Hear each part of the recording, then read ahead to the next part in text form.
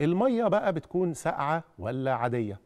المية لازم تكون معتدلة في درجة برودتها يعني في الأيام في الأجواء الحارة زي اللي إحنا لسه فيها شوية يعني بي بي يعني كان في مصطلح كده الناس تقول إيه تشرب مية ساقعة ولا سخنة فيقول لك نص نص صح كده؟ الطفل برضو يشرب المية نص نص.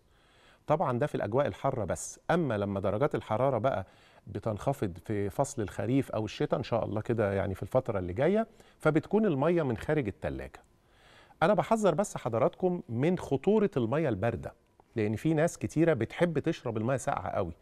المية الباردة دي غلط على الأطفال خصوصا بعد ما الطفل يكون بذل أي مجهود حتى لو المجهود ده أنتوا شايف أنتوا شايفين إنه مجهود بسيط.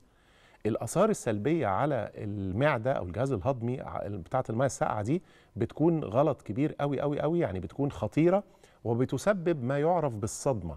يعني ال ال وبتعمل حاجات كتيرة قوي. يعني يعني بعد الشر طبعا على كل الأطفال لكن أنا بس يكفي إن أنا أحذركم كده بشكل واضح وسريع يعني وصريح بلاش الميه الساقعة قوي للأطفال. الميه زي ما قلنا بتبقى نص نص. مهما كانت الدنيا حر لأن درجة حرارة الجسم من الداخل ثابتة. يعني إحساسنا إحنا بالحرارة حاجة ودرجة حرارة الجسم واعضائه الداخلية بتكون ثابتة. فما بيكونش الجسم في احتياج للميه الباردة قوي. الميه تبقى نص نص زي ما قلنا.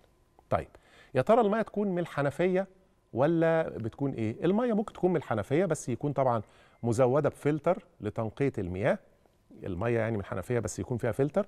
أو الميه اللي بتكون معبأة في زجاجات. أو حتى الميه العادية بتاعت الحنفية من غير من غير فلتر بس بشرط إنها تكون اتغلت واتسابت تبرد تماما.